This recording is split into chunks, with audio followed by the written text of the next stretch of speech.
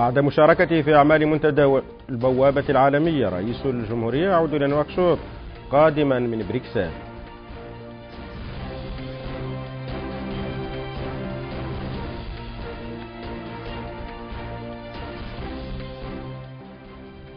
رئيس الجمهورية يستقبل في بريكسل مديرة العمليات بالبنك الدولي ووفدا من رجال الأعمال الأوروبيين.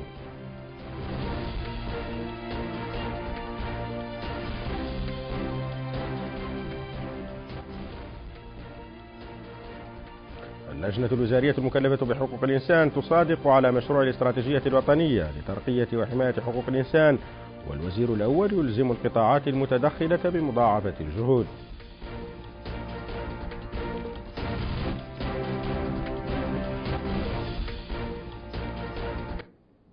أهلا بكم في تفاصيل النشرة الواحدة.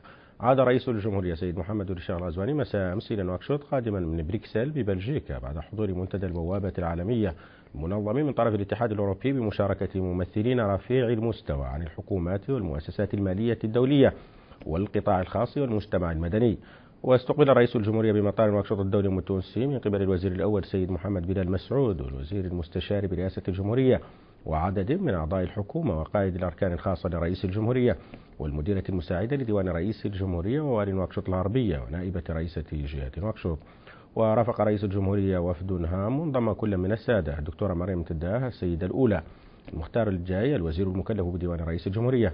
عبد السلام المحمد صالح وزير الاقتصاد والتنمية المستدامة.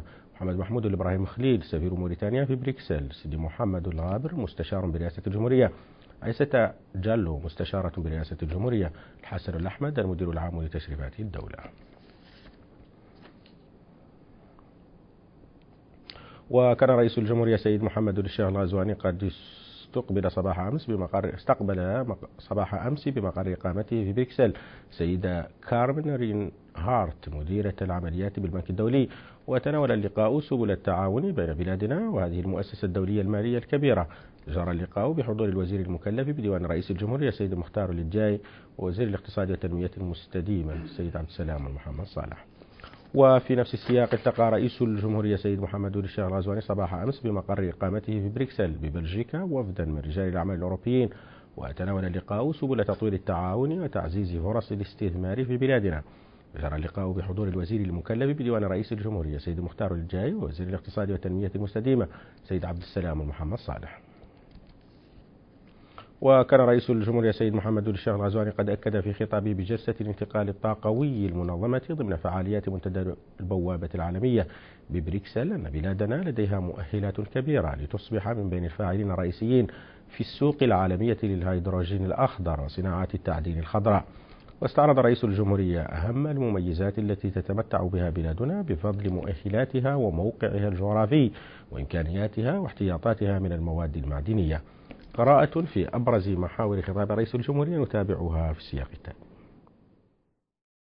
استهل رئيس الجمهورية السيد محمد ولد الشيخ الغزواني خطابه في جلسة الانتقال الطاقوي ضمن فعاليات منتدى البوابة العالمية المنعقدة بالعاصمة البلجيكية بروكسل بتهنئة قادة الدول الأعضاء على إطلاق هذه المبادرة الهادفة إلى الإسهام في الدفع بعجلة النمو والتنمية في البلدان الشريكة للاتحاد الأوروبي خاصة البلدان الإفريقية. وقال رئيس الجمهورية إنه إذا كان الوقود الأحفوري في قلب الثورة الصناعية والتقدم التكنولوجي والتحولات الاقتصادية والاجتماعية في البلدان المتقدمة فإن استخدامه المكثف اليوم لم يعد مستديما وإن جميع الدراسات العلمية حول تغير المناخ تعطي صورة مظلمة ومثيرة لمستقبل الكوكب والبشرية ككل. وفي حال حافظ استخدام الوقود الأحفوري على وتيرته الحالية فإنه سيتعين علينا العمل بسرعة أكبر لبناء المزيد من الاقتصادات منخفضة الكربون مع الحفاظ على النمو الاقتصادي أو تسريعه ومع أن التحدي هائل بالتأكيد لكن ليس من المستحيل مواجهته. وبين رئيس الجمهورية أنه في هذا السياق يتسارع تطوير الطاقات المتجددة على نطاق واسع لكن يبقى الهيدروجين الأخضر هو الذي يوفر أكبر الفرص الاقتصادية والاجتماعية والبيئية اليوم وبدون تطويره على أوسع نطاق لن يكون هدف مؤتمر باريس للحد من ارتفاع درجات الحرارة إلى حوالي 1.5 درجة ممكنة. وقال رئيس الجمهورية إننا في الجمهورية الإسلامية الموريتانية وبإمكانيات بلدنا الهائلة في الطاقات المتجددة التي تقدر بأربعة آلاف جيجاوات من بينها 500 جيجاوات جاهزة للتطوير. وبحكم موقعنا الجغرافي الفريد واحتياطاتنا الغنية من المعادن والحديد جعلت لدينا جميع العوامل اللازمة لتصبح بلادنا واحدة من الفاعلين الرئيسيين في السوق العالمية للهيدروجين الأخضر وصناعات التعدين الخضراء. مضيفا أن هذا هو الطموح الذي وضعناه لأنفسنا كما وقعنا مذكرات تفاهم مع أربع شركات لإنتاج الهيدروجين الأخضر على نطاق واسع وهو ما سيسمح لنا بتطوير هذه الطاقة الجديدة محليا بإنتاج الصلب الأخضر على نطاق واسع وسيضع بلدنا على طريق التصنيع السريع مع تجنب انبعاثات غازات الاحتباس الحراري سنويا لما يعادل دولة صناعية متوسطة الحجم. ورغم ذلك يضيف رئيس الجمهورية فإن تحويل هذه الإمكانات إلى تنمية حقيقية يتطلب تعبئة موارد مالية كبيرة وتوسيع نطاق التكنولوجيا وإنشاء البنى التحتية المناسبة. وفي هذا الصدد يضيف رئيس الجمهورية قمنا بالعديد من الإجراءات الهادفة إلى تعزيز مستوى جاهزيتنا من أجل أن نصبح منتجا تنافسيا من حيث الهيدروجين الأخضر. وفي الأسابيع المقبلة سنطلق دراسة حول البنية التحتية وسيكون لدينا قبل نهاية العام code solide خاص بالهيدروجين الأخضر. بالإضافة إلى سجل هيدروجين أخضر يضمن الشفافية والكفاءة والإنصاف في منح التصاريح. وأوضح رئيس الجمهورية أن تطوير الهيدروجين الأخضر يهدف إلى أن يكون ركيزة أساسية لمبادرة البوابة العالمية ولتحقيق ذلك لا بد من إيجاد حلول مبتكرة لتمويل تطوير البنى التحتية ومشروعات الهيدروجين الأخضر التنافسية. وخفض تكلفة رأس المال بالنسبة للمستثمرين الأجانب من القطاع الخاص من خلال المزيد من التمويل الميسر وإنشاء صناديق للضمان. واختتم رئيس الجمهورية خطابه بالقول إن غالبية مشروعات الهيدروجين الأخضر التي كانت موضوع قرار استثماري نهائي تقع في البلدان الصناعية على الرغم من أن مصادر الطاقة والإمكانات أكبر في البلدان النامية. وفي هذا السباق الكبير للهيدروجين الأخضر من المناسب المناسب ألا نسمح للتاريخ أن يعيد نفسه ونعول كثيرا على مبادرة البوابة العالمية للإسهام في ضمان احتلال إفريقيا الموقع الذي يلبي احتياجاتها وإمكانياتها. استقبل الوزير الأول سيد محمد بلال مسعود أمس بمكتبه بعثة من صندوق النقد الدولي برئاسة السيد فيليكس فيشر رئيس بعثة الصندوق إلى موريتانيا وبحث اللقاء النتائج الإيجابية. للتقويم الأول للبرنامج الممول من طرف صندوق النقد الدولي وكذلك علاقات التعاون بين موريتانيا وصندوق النقد الدولي وسبل تعزيزها وتطويرها. شار اللقاء بحضور السيد محمد لمين الذهبي محافظ البنك المركزي الموريتاني والسيدة عائشة فالفرجس مديرة ديوان الوزير الأول والسيد محمد لمين الرقاني مكلف بمهمة بديوان الوزير الأول. والسيد محمد لمين الحمادي مستشار الوزير الأول المكلف بالاقتصادية والمالية. ترأس الوزير الأول سيد محمد بلال مسعود أمس بالوزارة الأولى اجتماعا للجنة الوزارية المكلفة بحقوق الإنسان وقد تضمن الاجتماع عدة عروض منها عرض حول الاستراتيجية الوطنية لترقية وحماية حقوق الإنسان ودراسة حول مدى موائمة القوانين الوطنية مع الالتزامات الدولية لبلادنا في مجال حقوق الإنسان وعرضا حول مؤشرات تقدم بلادنا في الاستجابة لمتطلبات خارطة الطريق ضد الاتجار بالبشر. وفي الختام صدقت اللجنة الوزارية على مشروع الاستراتيجية الوطنية لترقية وحماية حقوق الإنسان. وألزم الوزير الأول القطاعات المتدخلة بمضاعفة الجهود المبذولة في مجال ترقية حقوق الإنسان في البلد والتي تعد موضوعا محوريا في برنامج رئيس الجمهورية سيد محمد الشيخ الغزواني. من خلال العمل على النهوض بحقوق الإنسان وإرساء ثقافتها في مختلف المجالات.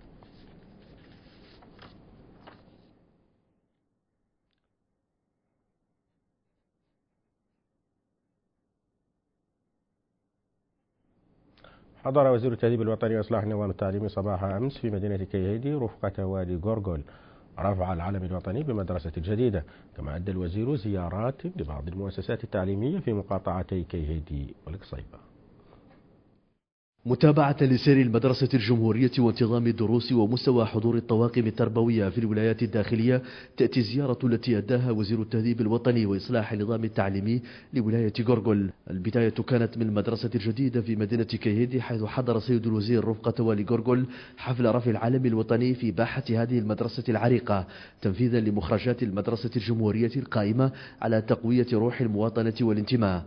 ليتجول بعد ذلك في مختلف أقسام المدرسة للتعرف على سير الدروس ونسب الحضور من التلاميذ والمعلمين. وفي الثانوية رقم اثنين اطلع وزير التهذيب الوطني على وضعية الفصول ومستوى انتظام الحصص وحضور الأساتذة والطلاب داعيا إلى بذل المزيد من الجهد والتضحية من أجل المساهمة في إصلاح قطاع التعليم الذي يعد من أهم ركائز التنمية. وفي قرية دار السلام التابعة لمقاطعة القصيبة زار سيد الوزير صحبة ولغورغو المدرسة الابتدائية المكتملة تم إنشاؤها في إطار التعاون بين بلادنا والولايات المتحدة الأمريكية.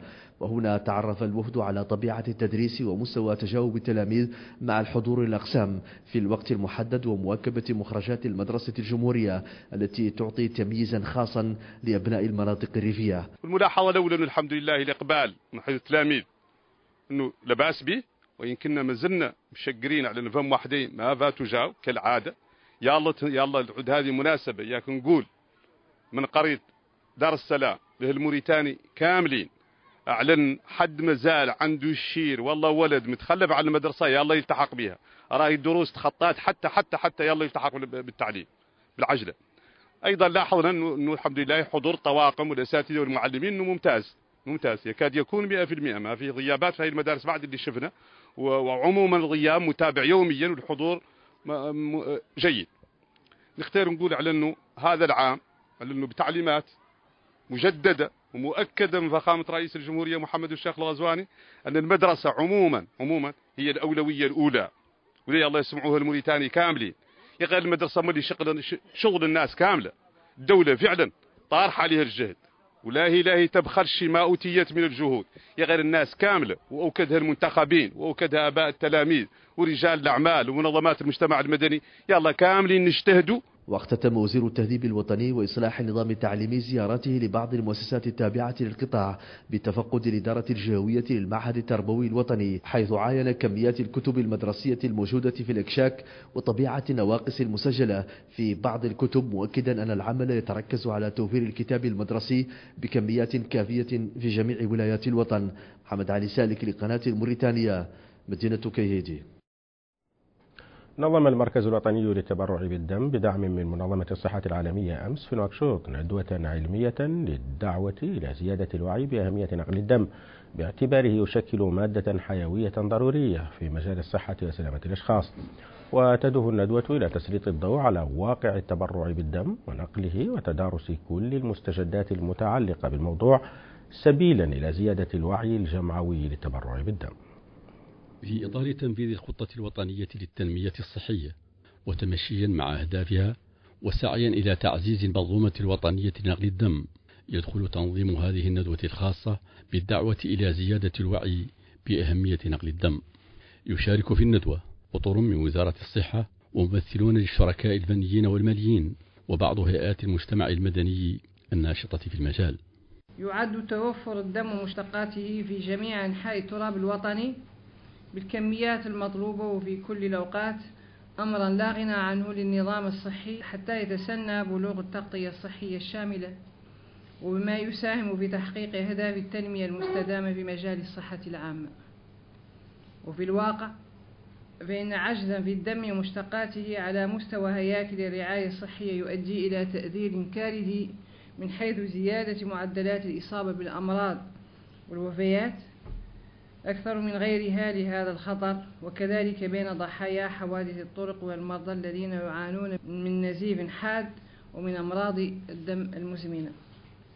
من هذا المنطلق فإن السياسة الصحية التي اعتمدتها حكومتنا تطبيقا لتوجيهات صاحب الفخامة ركزت بشكل خاص على صحة الأم والطفل. ممثلة منظمة الصحة العالمية فاتي شارلوتنجاي بينت من جانبها أن نقل الدم يعد ركيزة أساسية للنظام الصحي في موريتانيا ولضمان جودة رعاية المرضى من الضروري. تعزيز النظام الوطني لنقل الدم من حيث الإطار التنظيمي والموارد البشرية والمالية.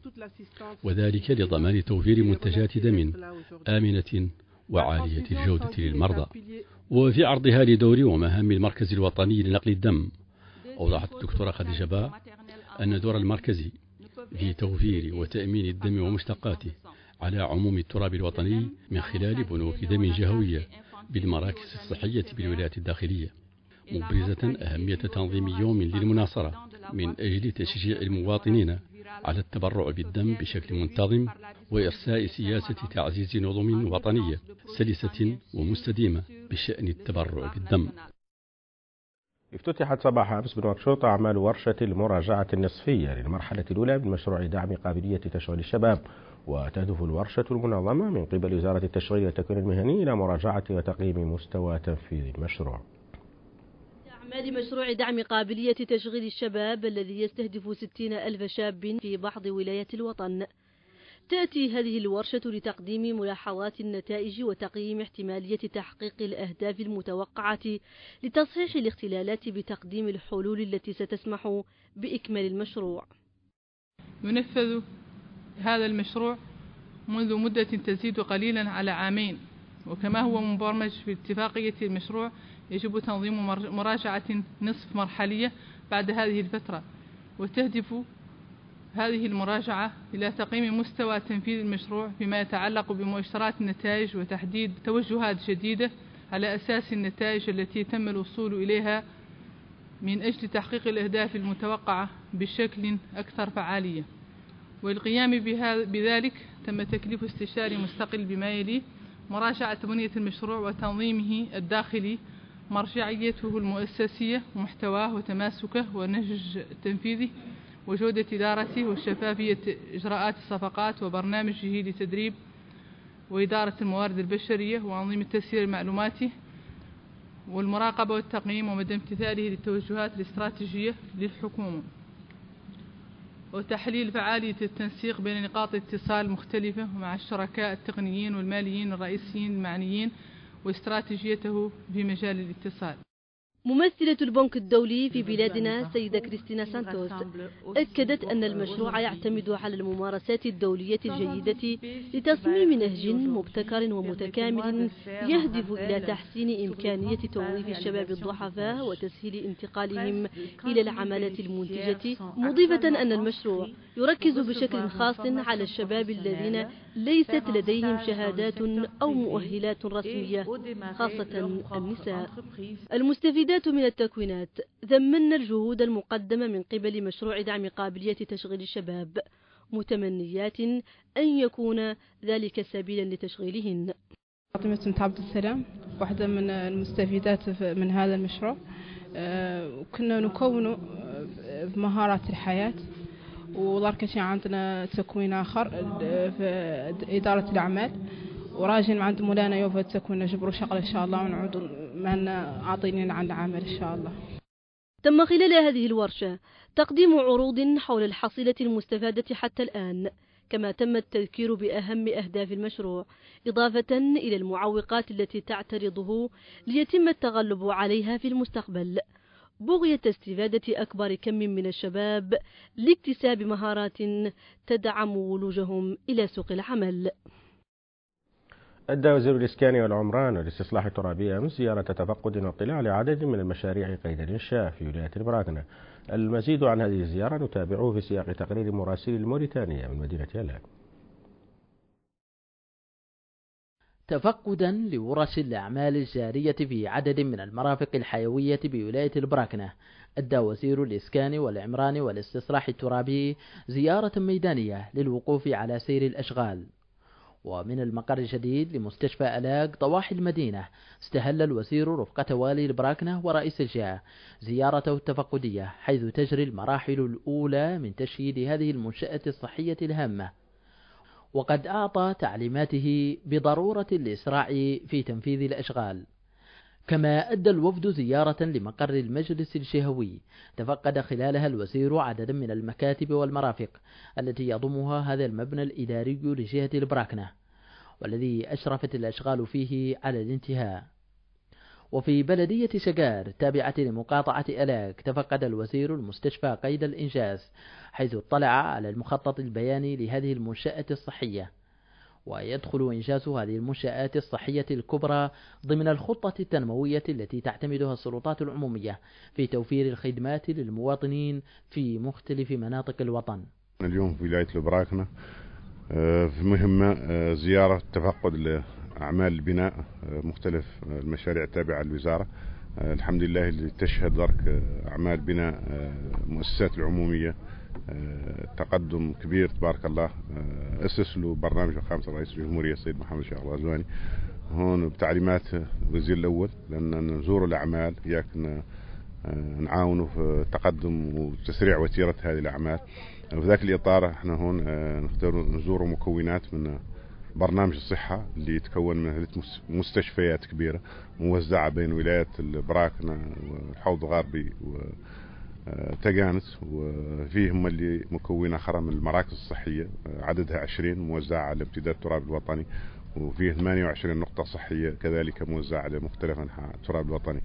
آه، قد نأكد على أن في إطار المدرسة الجمهورية على أنه سلطات العليا البلد عدلت آه، عمل ملحوظ متقدم بوتيرة سارعة وضرك مولي. مركزين على المشاريع الكبرى كيف المستشفيات والجامعات.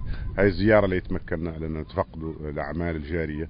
في عدة ولايات آه، خصوصا خصوصا برنامج الصحة. ويحرص قطاع الإسكان والعمران والاستصلاح الترابي من خلال هذه الزيارات الميدانية على تسريع وتيرة الأعمال في مختلف المشاريع التابعة للقطاع لضمان استفادة المواطنين من المشاريع التنموية في أقرب الآجال الممكنة. محمد بن هادي قناة الموريتانية مقاطعة ألاك. وهنا في نواكشوط انطلقت أمس إشغال ورشة لإطلاق مشاريع السكن الحضري الهادف إلى توفير السكن للمواطن في ظروف مرضية. تنظم الورشة بالتعاون مع وزارة الإسكان والعمران والاستصلاح الترابي وبرنامج الأمم المتحدة للمجتمعات البشرية. هي ورشة عمل منظمة من قبل وزارة الإسكان والعمران والإصلاح الترابي بالتعاون مع برنامج الأمم المتحدة مخصصة لإطلاق الاستراتيجية الوطنية للسكن الحضري في بلادنا. الورشة التي تدوم يومين سيتم خلالها تقديم الآراء ومناقشة المقترحات من قبل مختلف المتدخلين في المجال بما يسهم في تحديد الخطوط العريضة لهذه الاستراتيجية. إن فخامة رئيس الجمهورية السيد محمد الشيخ الغزواني يولي أهمية خاصة في برنامجه تعهدات لقضايا الإسكان والعمران باعتبارهما من أولويات التنمية والتقدم والازدهار وتدركون ما ترتب على ذلك الاهتمام الرئاسي من عمل ميداني وإصلاح إداري وقانوني حيث تجاوزت حصيلة المنظومة القانونية والإدارية المنجزة على مستوى قطاع الإسكان والعمران والاستصلاح الترابي خلال السنوات الأربعة الماضية أزيد من أربعين قانونا ومرسوما وبيانا. وستنضاف هذه الاستراتيجية لذلك المنجز الذي تعول عليه الحكومة في رفع تحدي الإسكان والعمران. ممثل برنامج الأمم المتحدة السيد ماتشوس ليفيرو. وممثل بلدية فرغزين السيد محمد السالك ناجم. ثمن على التوالي الأهمية التي تكتسيها هذه الاستراتيجية والدور الذي ستؤديه في تطوير المنظومة الوطنية للسكن في بلادنا. ومن المقرر وفق القائمين على هذه الورشة أن يتم إنجاز الاستراتيجية الوطنية للسكن الحضري في فترة زمنية لا تتجاوز الستة أشهر وذلك قبل بدء إجراءات المصادقة عليها بشكل رسمي. عقدت الأحزاب السياسية في الأغلبية والمعارضة اجتماعا مساء أمس بمقر حزب الإنصاف في نواكشوط جددت خلاله موقفها التضامني الحازم مع الشعب الفلسطيني واستنكارها للأعمال الإجرامية التي تقوم بها قوات الاحتلال الإسرائيلي ضد أبناء الشعب الفلسطيني في قطاع غزة. وأشادت الأحزاب السياسية بموقف رئيس الجمهورية سيد محمد الشيخ الغزواني من القضية الفلسطينية. ودعوته المتكررة للمجتمع الدولي من أجل تحمل مسؤولياته القانونية والتاريخية تجاه الشعب الفلسطيني في غزة. كما ثمنت خطاب الأمين العام للأمم المتحدة الذي دعا فيه إلى الوقف الفوري لإطلاق النار في قطاع غزة داعية إلى تلبية هذه الدعوة والحرص على وقف عملية الإبادة الجماعية التي يتعرض لها الشعب الفلسطيني.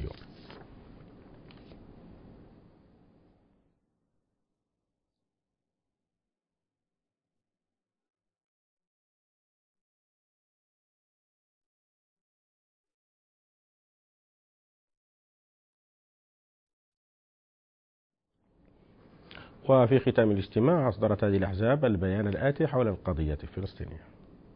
السياسية الموريتانية معارضة وأغلبية تشيد بالمجهودات التي قام بها مناضلوها وقواها الحية وشعبها بصفة عامة في هذا الحراك وتثمن عاليا موقف فخامة رئيس الجمهورية السيد محمد للشيخ القزواني.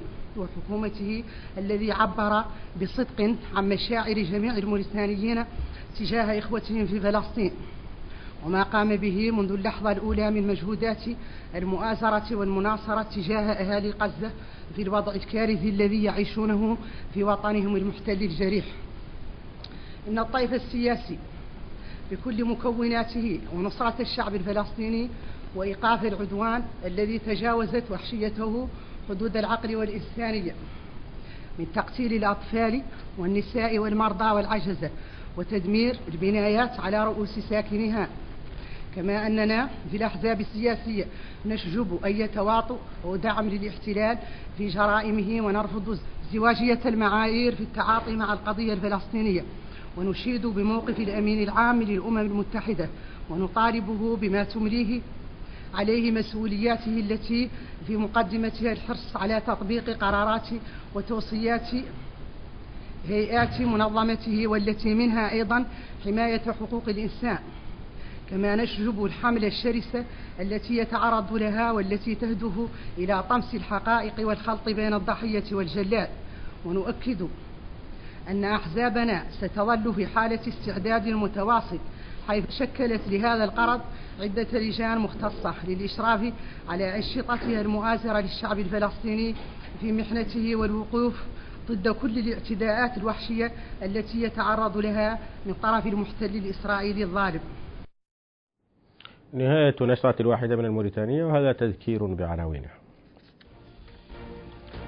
بعد مشاركته في أعمال منتدى البوابة العالمية رئيس الجمهورية يعود إلى نواكشوط قادما من بريكسل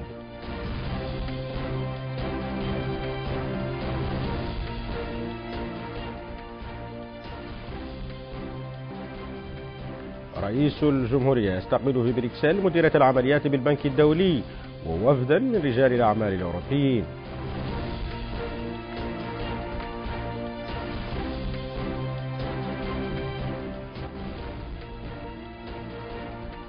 اللجنة الوزارية المكلفة بحقوق الإنسان تصادق على مشروع الاستراتيجية الوطنية لترقية وحماية حقوق الإنسان والوزير الأول يلزم القطاعات المتدخلة بمضاعفة الجهود.